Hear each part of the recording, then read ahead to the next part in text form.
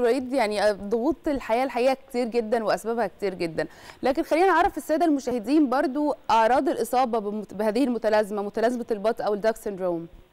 متلازمة البط بيبقى أهم عرض ليها إن الواحد يبقى واجهة شكله كويس قدام كل الناس اللي بتشوف يقولوا ده بسم الله ما شاء الله ده ما عندوش أي مشكلة.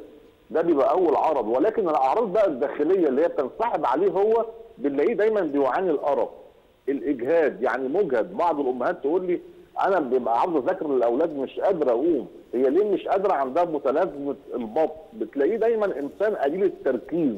بيتعرض لحوادث طرق كتير. يعني تلاقي كل شوية قاعد منزل صوره على ال social media العربية اتخبطت يقول لك يا ربنا يبعد عني العين. هي مش العين هي متلازمة البط اللي هي عندك. بنلاقيه دايما بيعاني من اضطرابات النوم. يعني الساعة البيولوجية عنده مختلة يقلق بالليل كتير يدخل ينام ما يجيلوش نوم. بيعاني في بعض الأحيان من فقدان الشهية.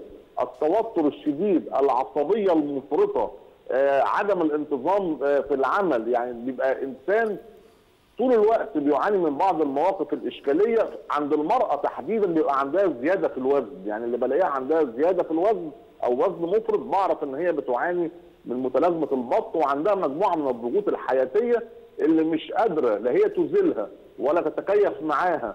ولا تتغلب عليها فبعرف إن هي عندها متلازمة البط